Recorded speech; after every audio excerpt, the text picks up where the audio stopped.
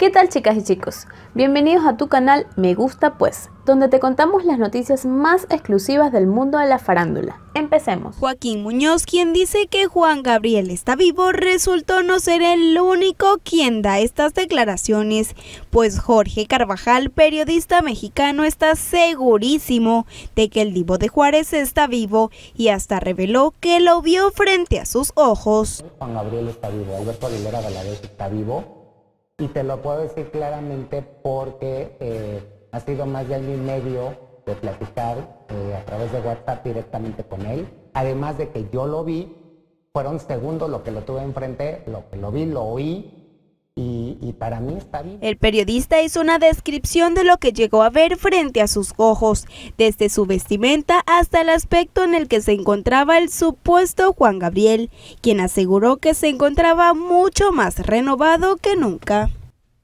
Más delgado o menos gordo, este, la barbita canosita, eh, la gorrita, uno, uno, uno, unas bermudas traía y, bien, o sea, normal, no viejito, creo que bastante. Te puedo decir que incluso yo creo que en el, al día de hoy está mejor que como está, físicamente hablando.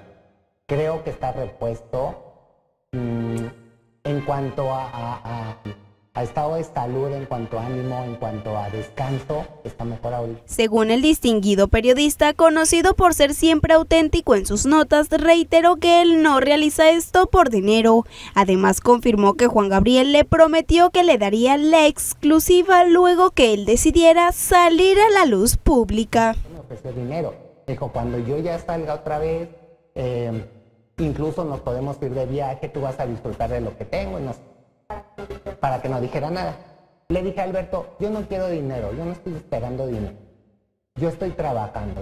y lo único que quiero de ti es, yo puedo guardarte el secreto, yo puedo seguirte buscando información, lo que tú necesites, a cambio de la exclusiva el día que decidas y esta exclusiva a mí me va a generar todo lo que necesito como periodista. El periodista reiteró que está preparado para cualquier situación que se le presente, pues él se siente muy confiado con lo que ha dicho y no le teme a cualquier demanda legal que se le interponga en el camino. Que tenga que pasar, va a pasar, no hay problema.